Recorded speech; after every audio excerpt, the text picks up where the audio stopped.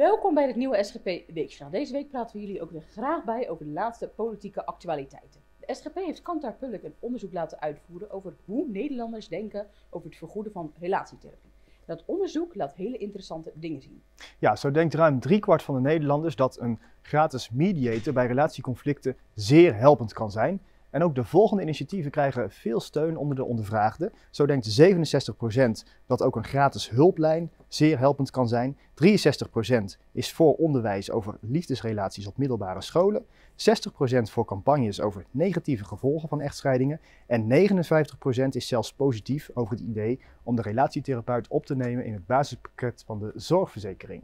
Daarnaast is 43% van de Nederlanders uh, van mening dat de overheid moet helpen bij het verminderen van vechtscheidingen als daar kinderen bij betrokken zijn.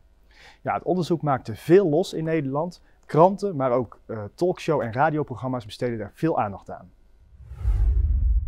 Zou je dan zelfs, eh, meneer Van der Staaij, voor subsidieregelingen zijn voor die APK? Het is geen ziekte, hè? En dat is waar we het hebben over, ga je dingen vergoeden of niet?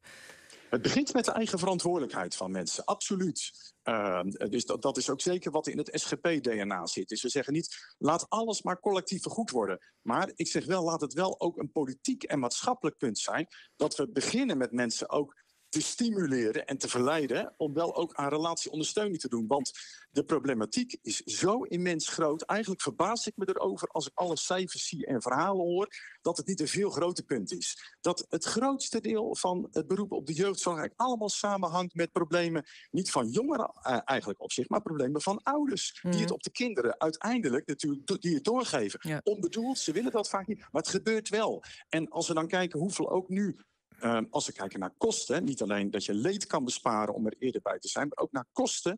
Als je kijkt hoeveel tonnen dat er worden uitgegeven soms in, in, situaties van gezinnen voor later de ondersteuning van de jongeren, dan zijn we toch gewoon niet slim bezig.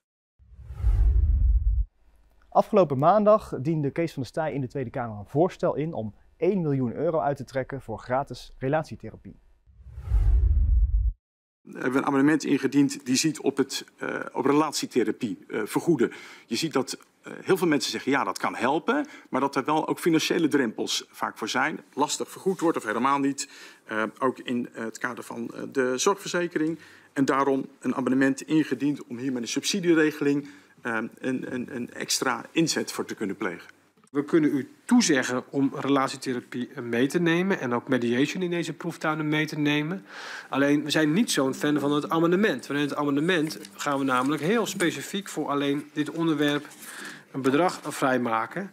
Ja, en dat uh, zou toch wel heel erg op gespannen voet staan met de, ja, de decentrale verantwoordelijkheden in dit stelsel. Dus daarom moet ik het amendement ontraden. Maar kan ik uw betoog in grote lijnen steunen. ChristenUnie-Kamerlid Don Zede liet zich inspireren door het voorstel van de SGP en diende daarom tijdens het debat een motie in mede namens Kees van der Staaij om te onderzoeken wat de mogelijkheden zijn om relatietherapie te vergoeden via het basispakket in de zorgverzekering. Ik ben bekend met het amendement van de heer Van der Staaij, die eigenlijk vraagt om nu al actie, terwijl daar de financiële dekking voor ons uh, nog wel een zoektocht is. Uh, tegelijkertijd herken ik wel dat punt en daarom zou ik wel een verkenning motie willen doen om, om, om te kijken wat nou de financiële, maar ook de maatschappelijke baten en kosten kunnen, kunnen, zijn, zodat we ook een eerlijk gesprek met elkaar in de Kamer kunnen voeren. Het gaat over tot de van de dag. Deze ondertekend mede door de heer Van der Staaij. Ja, maar ook deze poging stuit op onwil van de regering. Staatssecretaris Van Ooyen, notabene van ChristenUniehuizen, ontraadt de motie van ChristenUnie en de SGP.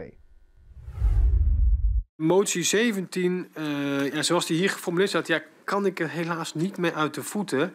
Kijk, uh, zoals wij, uh, zoals ik net ook gesproken heb met meneer Van der Staaij over die complexe scheidingen en die vechtscheidingen en de impact. En ook wat u zelf heeft opgehaald met Kantar.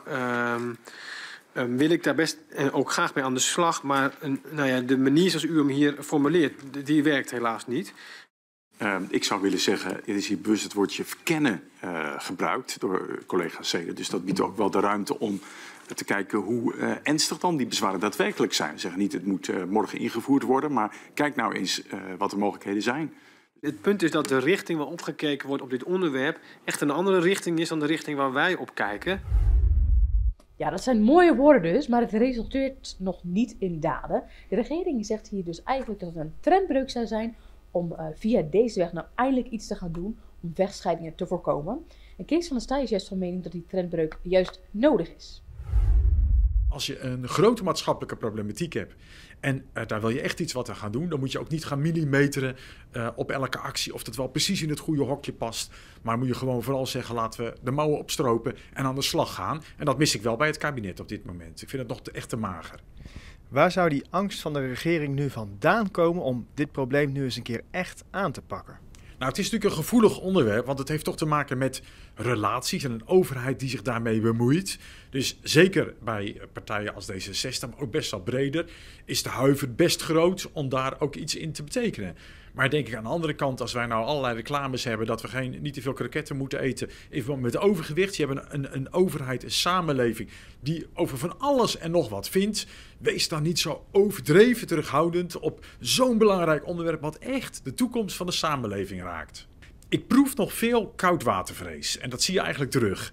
Uh, maar we laten ons er ook niet door ontmoedigen. We hadden niet gedacht, we dienen voorstellen in en dan, uh, komt het, dan zegt iedereen gelijk, geweldig idee, akkoord. Zo werkt dat soms in de politiek. Maar we zijn zeer gemotiveerd om uh, vanuit de SGP met duwen en trekken uh, hierin verder te komen. En je zag nu ook al, kijk, het lijkt er dan op dat je eigenlijk niet, niets bereikt hebt. Want zo'n amendement wordt waarschijnlijk niet aangenomen. Zo'n motie moet je ook maar afwachten. En toch gebeurt er al iets. Partijen gaan erover nadenken. De minister zegt, maar wat we wel kunnen doen is bij die proeftuinen kunnen we al meer met relatietherapie gaan werken. Dus, dus door die druk gaat er al wel iets gebeuren.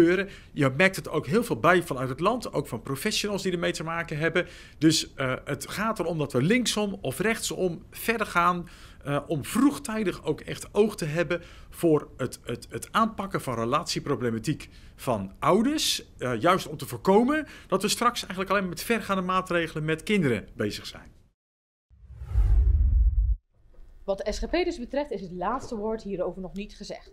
Dan gaan we door naar het volgende onderwerp. Want dinsdag uh, begon de behandeling van de begroting van Economische Zaken en Klimaat. En Christoffer brak daarbij een lans voor een winkelvrije zondag. Voorzitter, dan tot slot de zondag. Ja, bij de SGP kunnen we dat natuurlijk niet nalaten. Want in 1973 kwam het kabinet Den Uil, zeg maar even tegen de PvdA, met een opvallende maatregel, de autovrije zondag. En volgens de SGP is het nu tijd om een winkelvrije zondag in te voeren. Het levert een megaton CO2-winst op. Ondernemers die hun rooster nu toch al niet rondkrijgen qua personeel zijn er ook mee geholpen. En het zet tegelijk een rem op onze jacht naar steeds meer. Ik neem aan dat de minister voor Klimaat en Energie hiervoor wel te porren is. En ik reken dan eigenlijk op een heel warm onthaal. En mijn vraag is hoe hij gaat stimuleren dat die winkels hun deuren inderdaad sluiten op zondag. En is het kabinet bereid om, net als Den Uyl, dat is ook GroenLinks en de PvdA aanspreken, dat helpt u misschien op andere fronten, om daadkracht te tonen en die winkelvrije zondag dan ook echt in te voeren. Rust op zijn tijd is goed voor iedereen. En de wijze koning Salomo zei het al, een handvol rust is beter dan de beide vuisten vol arbeid en kwelling des geestes. Ja, en deze week stond ook het begrotingsdebat van onderwijs op de Kameragenda. En woensdag resulteerde dat in een stevige clash tussen bijeenkamerlid Sylvane Simons en Roelof Bisschop. Voorzitter, waar de heer Bisschop zich met name richtte op het recht van ouders over van alles en nog wat, denk ik dat met name de seksuele integriteit van personen, ook van kinderen, beschermd mag worden. De heer Bisschop. Ik vind dit een buitengewoon stuitende opmerking. Neem me niet kwalijk.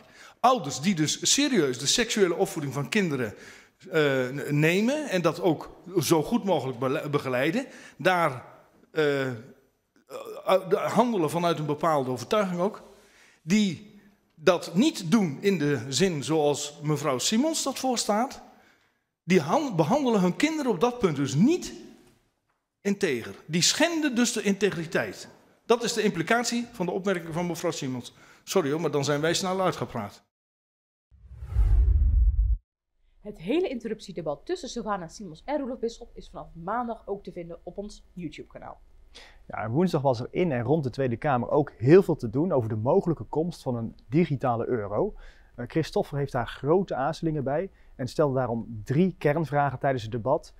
Waarom, waarvoor en hoe? Ik begin met de waarom-vraag, want waarom moet die digitale euro er eigenlijk komen? Welk probleem lossen we ermee op en wat zijn nu precies de doelen? Ja, dan de vraag waarvoor is die digitale euro? Wat heeft de burger eraan en wat mist de gemiddelde man of vrouw op straat als die digitale euro er niet komt? Een laatste punt over het hoe van die digitale euro. Want is het, en ik zal het graag uit de mond van de minister ook horen, dat het niet zo is dat contant geld langzaam in de ban wordt gedaan. Kan de minister echt bevestigen dat contant geld ten alle tijden gebruikt kan worden? De terechte kritiek en aarzelingen vanuit de Kamer en de Nederlandse bevolking daarbij serieus. Want er is zoveel onduidelijk, terwijl het hele grote impact kan gaan hebben. En wat ons betreft is een trap op die rem dus hard nodig. Ik zou zeggen, beter ten halve gekeerd dan ten hele gedwaald. Dank u wel. Ja, de hele bijdrage van Christoffer aan dit debat over de digitale euro is ook te vinden op ons YouTube-kanaal. Dan gaan we naar goed nieuws, want de moties die wij vorige week in ons SGP Weekjournaal bespraken zijn beide aangenomen uh, door een meerderheid van de Tweede Kamer. 147 Kamerleden stemden voor de motie over de onderzeeboten en 149 Kamerleden stemden voor de motie over de wijkagenten. Ja, helaas is er ook wat minder goed nieuws rondom moties. De regering wil helaas de kottervisserij maar zeer beperkt steunen in de hoge brandstofprijzen.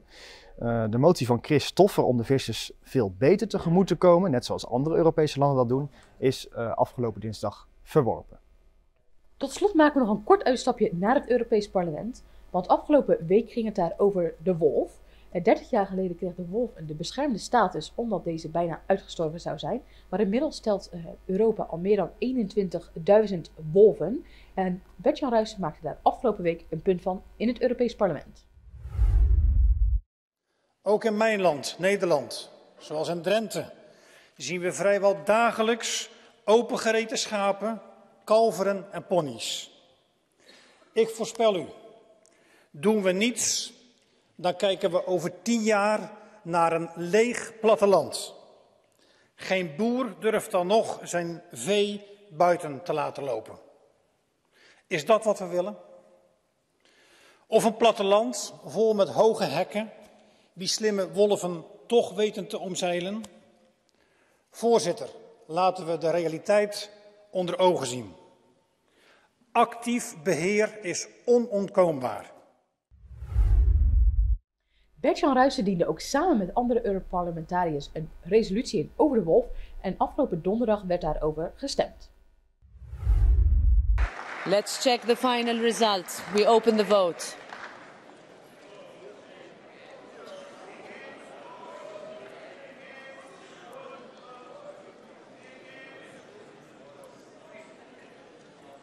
Vote is closed and it is adopted.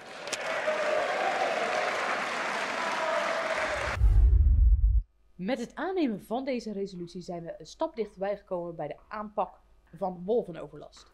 Tot zover dit weekjournaal. Heel hartelijk bedankt voor het kijken. Vond je het leuk? Waardeert u dit? Doe dan even een duimpje omhoog onder deze video, zodat er veel meer mensen dit te zien krijgen. Abonneer ook op ons kanaal om niets van ons te hoeven missen. En zet ook het belletje aan om een melding te krijgen zodra we weer een nieuwe video plaatsen. Volgende week hopen we er weer te zijn met een nieuw SGP Weekjournaal. Graag tot dan.